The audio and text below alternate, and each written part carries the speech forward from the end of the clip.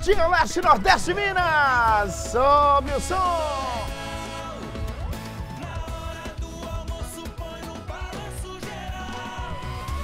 Chegando na hora boa, na hora sagrada. Essa hora você se diverte aí no sofá, hein? Olha, chegando o balanço geral para se comunicar com você do leste, com você do nordeste. Sobe o som, Gabigol! Balanço geral com Nicomedes Felício. Eu quero ouvir o Júnior Marcelo. Alegria tá no ar. A partir de agora, Jequitinhonha, Mucuri, Vale do Aço e Vale do Rio Doce. É destaque aqui na telinha um show de informação, notícia atualizada e entretenimento sim na pegada do BG com a assinatura da pioneira TV Leste. Eu e você, nós somos parte desse timaço da informação. Não me abandone, vem comigo, vem comigo, pode se divertir. Tem informação no ar. Terça-feira, 5 de setembro, e o BG já está no ar com imagens ao vivo da nossa super câmera no Pico da Bituruna, mostrando a região da Lagoa do bairro Jardim Pérola. É, ali é a rodovia Santos Dumont, trecho conhecido, quem passa ali, né?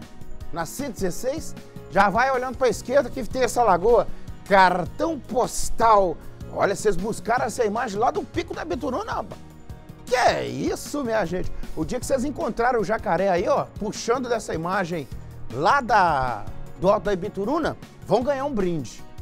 Vão ganhar um brinde. A partir de amanhã já vão ficar pesquisando ali, ó. Ah, tem também imagens da câmera instalada no prédio da TV Leste, mostrando a BR-116 ao fundo, o Pico da Ibituruna, Pedra Negra. Rapaz, que imagem sensacional, né? É Ibituruna vista numa outra perspectiva. E lá está a ponte, cheia de tumulto, como sempre. Ali por volta de 5 da tarde, amigo, até que seja duplicado e uma nova ponte venha. Ah, viva a região da Ibituruna, obrigado equipe. Temperatura pode chegar a 33 graus, hein? Uau, 33 graus. É, faz frio, mas esquenta, faz frio, mas esquenta.